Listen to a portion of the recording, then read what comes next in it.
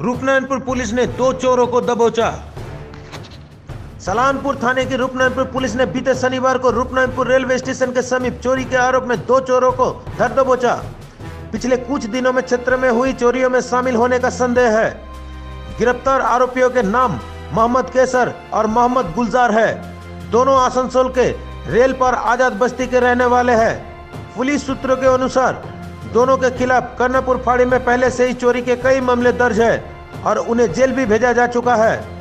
मिली जानकारी के मुताबिक, पुलिस ने इनके पास से तांबे के बर्तन समेत लोहा और लोहा काटने वाले ब्लेड भी बरामद किए हैं। गिरफ़्तार आरोपियों के समूह में चीनाकड़ी समेत कई जगहों के नाबालिग बच्चे भी शामिल हैं, जो पहले इलाके में बंद घरों की रेकी करते हैं और फिर रात में चोरी की वारदात को अंजाम देकर भाग जाते हैं। रविवार सुबह गिरफ़्तार आरोपियों को आसनसोल न्यायालय के सुपुर्द किया गया एवं आगे की पुलिस जाँच के लिए हिरासत की अपील की गई। न्यायालय ने आरोपियों को पाँच दिनों की पुलिस हिरासत पर भेज दिया। राहुल तिवारी एएनएम न्यूज़ और खबरों के लिए सब्सक्राइब कीजिए एनएम न्यूज़ बेल आइकन दबाकर रहिए सबसे आगे।